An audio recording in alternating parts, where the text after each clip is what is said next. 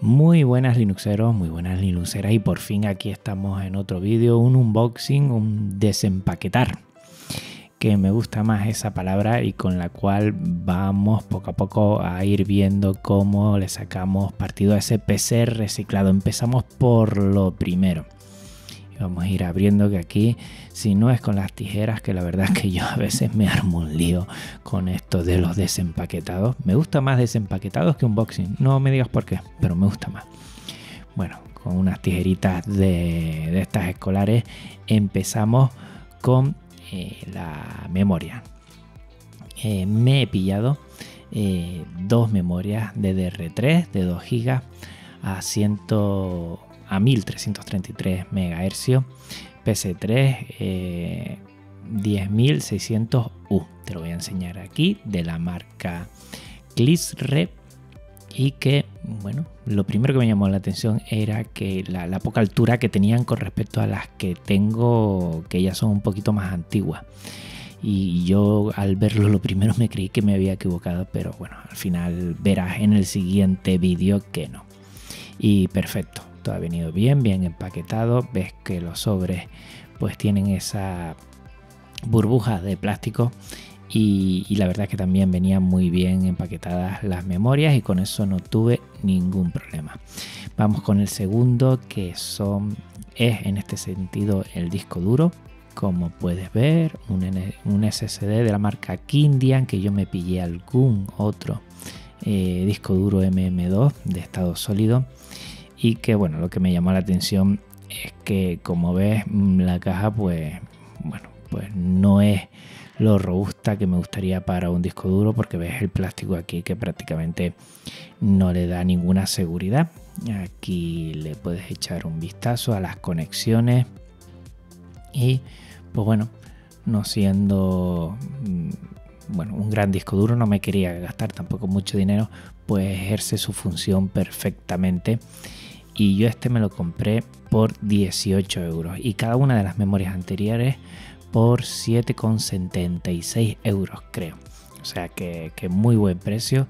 Te voy a dejar porque ya saqué antes el podcast que el vídeo y te voy a dejar todas las referencias ahí por si quieres echarle un vistazo.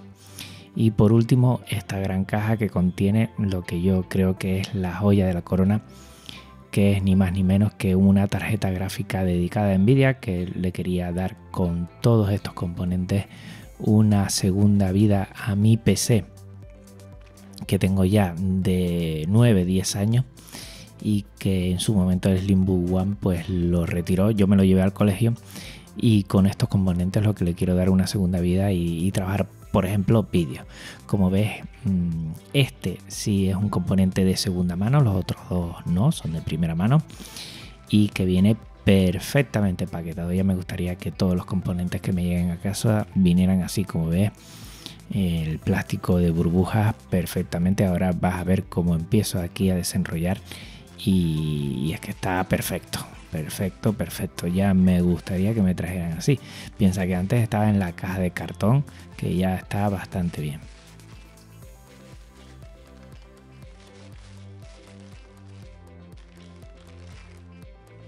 Nada, pues plástico de burbujas y aquí ves que viene en lo que es una bolsa antiestática también. O sea que muy bien. Y aquí ves la 750, la Asus, que ahora mismo la voy a sacar. Todo muy bien puesto, la verdad. Perfecto. Y que es de segunda mano, pero que viene perfecta. Vamos a ver si notamos ahora eh, alguna pequeña rayadura, que es lo único que le noté yo. En la carcasa, no sé si lo ves ahí, es mínimo, pero bueno, se nota que ha tenido algún roce pero por lo demás miremos las conexiones, mm, vamos, perfecta. Ningún tipo de corrosión, ningún tipo de rumbre, o sea que muy bien. Todas las soldaduras bien, perfecto, mirándola ahí. Todo perfecto, muy bien.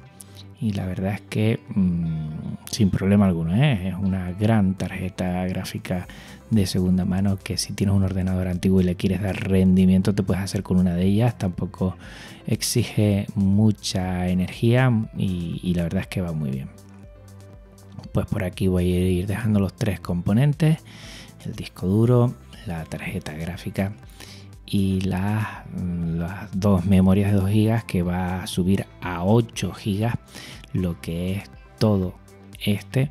Y ya bueno nos vemos en un próximo episodio y vamos a ver cómo lo instalamos en el ordenador antiguo. Venga un abrazo muy fuerte. Chao